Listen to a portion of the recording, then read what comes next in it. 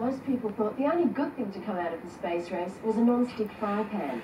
But there have been other good man-in-the-street uses to come out of all that hardware floating around up in space, like this little gadget, a GPS, or Global Positioning System. It can tell you where you are within 100 metres anywhere in the world. It works a bit like a street directory. It gives you two reference points, so you can plot your position exactly on the map.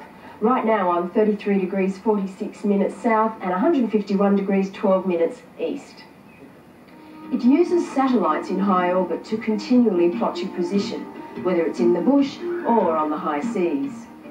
This nuggety antenna tracks the satellites and gives you a position fix within 20 seconds, and then updates it every second as you move.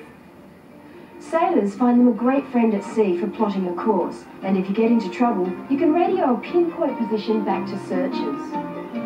But the GPS is not only used for emergencies. Fishermen and divers can auto store the position of a good fishing spot or diving reef with the push of a button.